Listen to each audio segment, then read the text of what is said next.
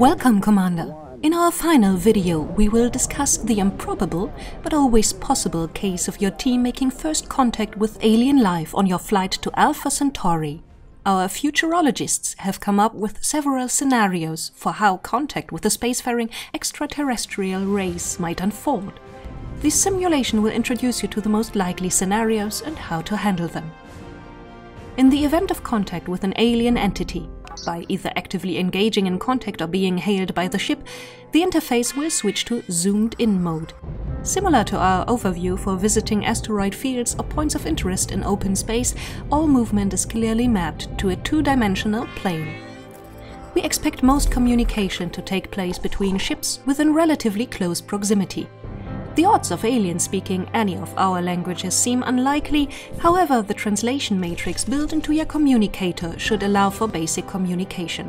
This will start with just a few keywords and adapt as conversations continue. We still have designed the interface as simple as possible, putting together questions or statements from short building blocks. Choose a field you want to discuss and then the most fitting option that the matrix has learned the vocabulary for. Remember, aliens may take a different definition from questions like ask work, ask for work, ask about their work. We assume that their translation systems will be capable of more natural responses. Technical details aside, there's much to consider here. How will an alien species react to humans? We will simulate a peaceful meeting first. It might be possible to trade goods like raw materials, but a spacefaring species will surely also have developed a currency for their transactions that we can use. Our futurology department also suggests that deep space encounters are likely to take place on stations rather than planets, saving all parties the energy cost of planetfall and escaping gravity. We expect a reasonably standardized system for airlocks, which your ship should be able to adapt to with relative ease. Its sensors will search for such structures and highlight them for you here. Apart from possible trade and the most baseline requirements for forming an interstellar civilization, we cannot predict what the psychological makeup or culture of such aliens might look like. We have created a simulation with several branching options to show you a few possibilities. We start with you saving a member of an intelligent species proclaiming to be an ambassador. But how can you assess social or political rank among such alien beings? Helping an ambassador of an alien species might be a good first step to secure friendly relations with their civilization. But in our simulation, you will come to doubt the rank of your passenger when bounty hunters start asking for them, describing them as an impostor, and insisting that you hand them over for punishment. Who is in the right? And how can you know who has legal rights? Generally, the morals and ethics of alien species might drastically differ from ours. These beings might be warmongers or see no problem in fraud.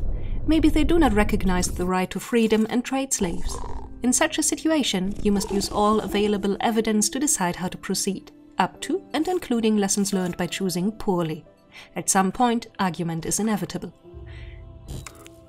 To this end, we remind you that your ship will be fitted with mining lasers and an experimental shield. You can activate them in zoomed-in mode, but will have to deactivate them again to leave local space. These armaments have been designed to protect the ship in dangerous space and allow you to mine asteroids for valuable materials. The lasers could however also be used for defense. The cannons are located along the broadsides of the ship and have a short reload time after being used. The interface will use acoustic signals and a trajectory line to tell you once the reloading has been completed and you can deploy another full salvo. We cannot foresee whether alien technology will prefer projectiles or energy-based weapons, but our strategists recommend that with a science ship like the Daedalus 7, your best approach will be staying on the move and giving the weakened parts of your shields time to recharge. A weakened or deactivated shield compartment takes a moment to get back to full strength, leaving the hull vulnerable. While doing this, attempt to turn your broadsides to the enemy to land as many hits as possible with each salvo, and again, prioritize where their shields are weakened or down. For anything else, we trust in your common sense.